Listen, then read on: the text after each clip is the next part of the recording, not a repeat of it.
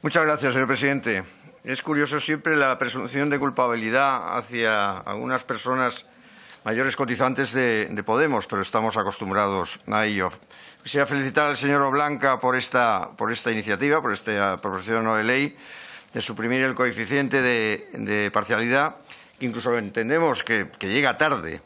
Y es que lo hemos podido comprobar que es y ha sido y está siendo uno de los grandes problemas consecuencia de los, de los ERTE y el gran problema para personas que cotizan cantidades importantes porque trabajan eh, horas importantes y hacen eh, trabajos importantes. Y no se les tiene en cuenta a la hora de cobrar el desempleo tal como se, se ha comentado.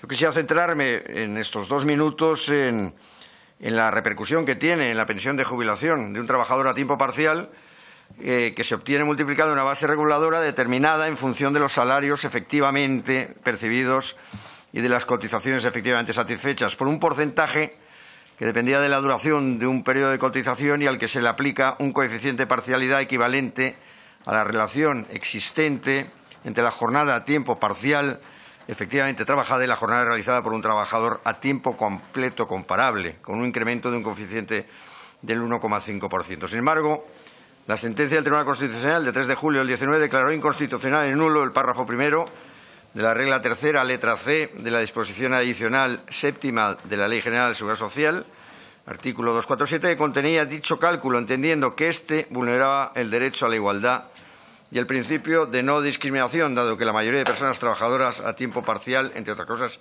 son mujeres. La sentencia del Tribunal Constitucional recoge el supuesto de un jubilado que había trabajado durante casi toda su vida a tiempo parcial y que había visto cómo su periodo de cotización era inferior al efectivamente realizado tras la aplicación de dicho cálculo.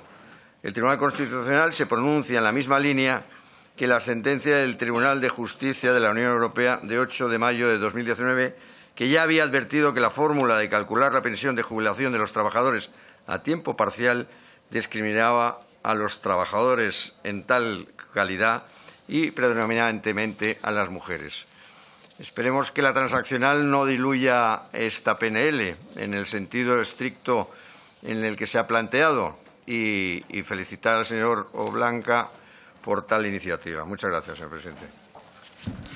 Eh, buenas tardes, gracias, presidente. Adelantar que desde el Grupo Parlamentario Vox vamos a votar positivamente a esta proposición no de ley. No es necesario explicar el sufrimiento de una enfermedad grave con largos periodos de hospitalización, más aún cuando son menores.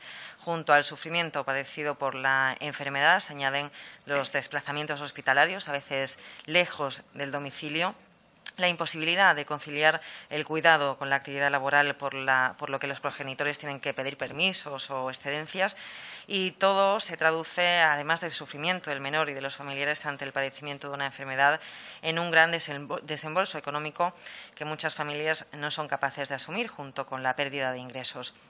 La enfermedad de un menor es una circunstancia traumática que afecta a toda la familia en todos sus ámbitos económico, social, psicológico y ante esta problemática que sufren los progenitores cuyos hijos padecen una enfermedad y larga hospitalización, eh, ha tenido que ser la sociedad civil la que ha tenido que responder, bien sea con campañas de donaciones para hacer frente a esos gastos derivados de la hospitalización, como viajes, alquiler de una vivienda cerca del hospital o la caridad o, por ejemplo, la labor de algunas organizaciones. En Vox estamos totalmente concienciados con la defensa de los menores y los enfermos, defendiendo la dignidad de estos, por lo que, analizando la PNL y su solicitud, varios matices. En cuanto al primer punto, para modificar el Real Decreto 1148-2011 de 29 de julio, para que sea ampliada la prestación más allá de la mayoría de edad, siempre y cuando se acredite la necesidad de cuidar a los hijos a cargo de manera directa, continua y permanente desde este grupo entendemos que debería proyectarse la prestación hasta el fin de la enfermedad, aunque el convaleciente o enfermo haya dejado de ser menor de edad, ya que el vínculo y la unidad familiar continúa pese a que haya dejado de ser menor de edad. Y en cuanto al segundo punto de la proposición, regular el permiso para que la unidad familiar, guardadores con fines de adopción, acogentes o tutores legales que necesiten reducir su jornada laboral para cuidar de hijos o hijas menores de edad afectados por cáncer o enfermedad grave y con discapacidad reconocida igual o superior al 33% que requiera el cuidado directo, continuo y permanente de los mismos, puedan efectuarlo con todas las garantías. Leyendo este punto, eh, entendemos que supondría una ampliación de la prestación, incluso la creación de, una nueva, por lo que entendemos que este punto eh, será el más complejo para su configuración, puesto que deberá incluirse en la normativa la discapacidad. Y, por otro lado, aclarar y arreglar con el objeto de evitar la inseguridad ante el acceso del permiso que necesiten reducir su jornada laboral ante estas situaciones. En cualquier caso, como he anunciado al principio, nuestro voto a favor de esta proposición. Muchas gracias. Muchas gracias, señor presidente. Vamos a ver, los derechos se pierden cuando no hay trabajo. Ese es el peor derecho que se pierde. Es falso que se genere inseguridad jurídica. De hecho, a día de hoy, se ha continuado desde la aprobación de la Ley 3 2012 negociando convenios colectivos entre todas las partes. La ultraactividad, situándola en un año, lo que busca es que si en ese plazo las partes no alcanzan un acuerdo, decae la vigencia del convenio y las condiciones de trabajo aplicables a las relaciones laborales serán, en su caso, las establecidas en el convenio de ámbito superior.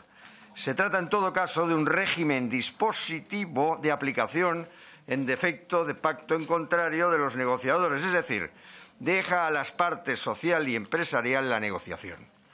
En la voluntad legislativa se encuentra presente la necesidad de evitar la rutina en los procesos de negociación o revisión de convenios colectivos con tendencia a una mera repetición de contenidos, estableciendo una regulación que permite salvar las dificultades de adaptación a las cambiantes situaciones de las empresas, y lo estamos viendo ahora, y al mismo tiempo evitar los bloqueos de la negociación para potenciar su renovación, muy queridos por muchos sindicatos o algunos sindicatos. Para estos fines, limita la ultraactividad de los convenios a un año, disponiendo al efecto una regla de aplicación subsidiaria a lo pactado expresamente por los negociadores del convenio colectivo. Pero es que aún es más. El Tribunal Supremo descarta que se produzca la contractualización de las condiciones del convenio decaído. Recordarles que la jurisprudencia uniforme del Tribunal Supremo niega que las condiciones laborales establecidas en un convenio colectivo de aplicación a una relación laboral queden incorporadas al contrato de trabajo atendiendo a su propia fuerza normativa vinculante.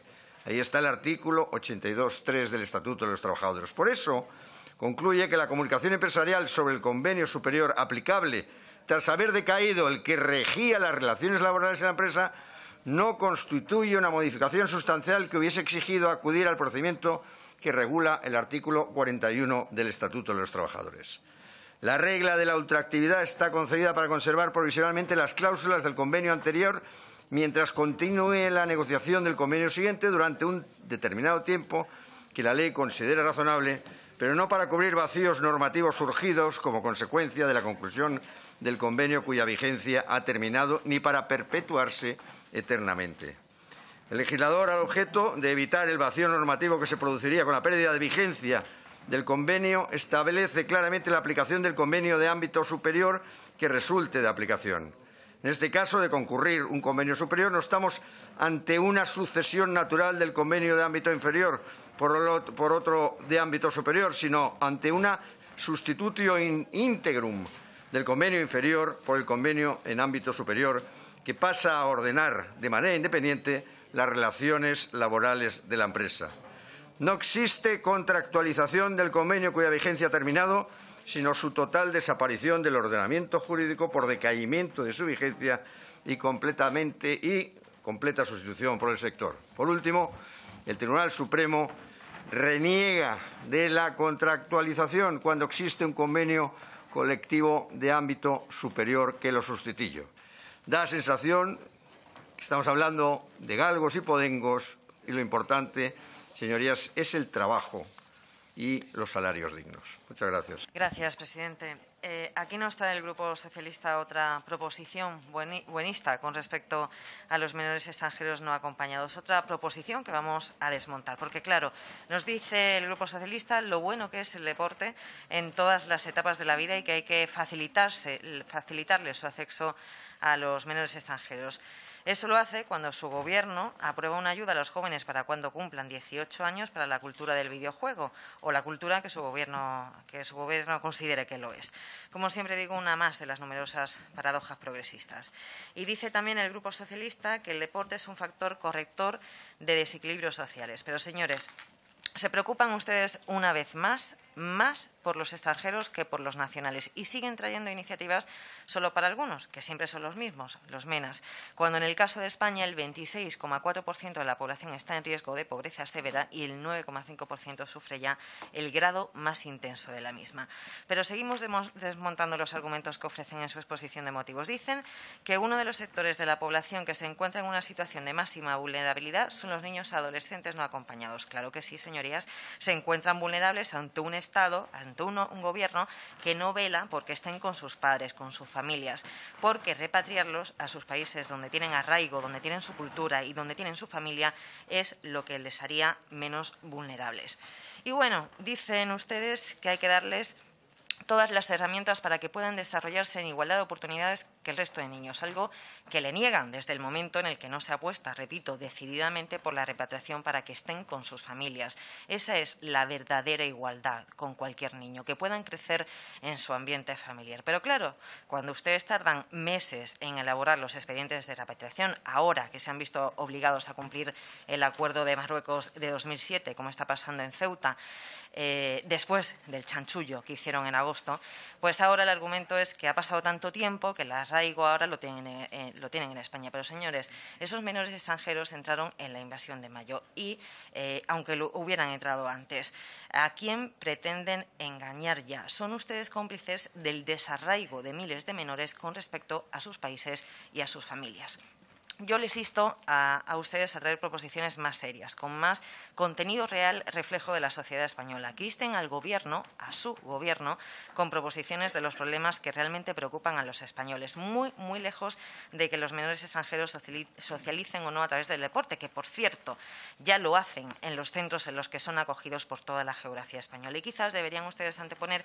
que muchos padres no puedan pagarle unas clases de cualquier deporte a sus hijos porque no tienen ni siquiera para darle de comer o que tengan en su barriada una cancha para hacer algún deporte. En definitiva, que 400 euros en cultura del videojuego, eh, la modificación del reglamento de extranjería para dar papeles a 15.000 menas. Junto a esta proposición solo dejan en, evidencia qué es lo que inquieta a este Gobierno. Políticas de inmigración de efecto llamada, muy alejado de las preocupaciones y carencias de una España con un nivel de pobreza superior, como he dicho, al 26%, siendo uno de los países de la Unión Europea con mayor pobreza infantil y con una tasa de paro juvenil del 40% de jóvenes españoles menores de 25 años. Frente a esas cifras, su proposición es absurda. Muchas gracias. Muchas gracias, señor presidente. el SEPE es de los pocos organismos que hay que buscarlo con lupa en Cataluña, nuestra tierra, eh, donde el Estado está presente. Y por eso pues habrá que cuidarlo. Y a uno le sorprende, analizando las tripas del SEPE, cuando fue hackeado y ha tenido los ataques informáticos que ha tenido durante esta crisis, la mala cobertura informática que tiene este organismo. Aquí entiendo que deberíamos estar todos de acuerdo, todos los grupos de esta Cámara, en la propuesta que se plantea por el, por el Grupo del Partido Popular y que viene complementada por nuestra propuesta y nuestra enmienda. Pues efectivamente estas carencias de medios penalizan a todos los trabajadores, absolutamente a todos ya que eh, es inconcebible, parece mentira, que en el siglo XXI y con la evolución tecnológica que hay, no se crucen, por ejemplo, los datos de la Tesorería General de la Seguridad Social y Hacienda, donde están todo lo necesario para tramitar la prestación por parte del SEPE. Es que urge poner en marcha una modernización de, la tecnología dentro del SEPE y la pandemia ha demostrado que la tecnología es necesaria y mucho más en este organismo que ha sufrido, como todos sabemos, los ataques. Nosotros nos preocupaba, porque cuando uno concretamente aparece por las oficinas del SEPE de Barcelona, y ya no digamos de Gerona o de otros lugares, pues van eh, desbordados de trabajo en este momento. Hasta que no se implementen todas estas cuestiones tecnológicas, pues habrá que preservar pues el que se pueda dar los servicios adecuadamente, ¿no? Por eso nosotros proponíamos que hubiese salvaguarda, esta sí, de empleo y que efectivamente junto a la modernización obligatoria, necesaria, eh, básica que necesita el SEPE, pues ponerlo en marcha. Así que obviamente votaremos que sí a. Muchas gracias.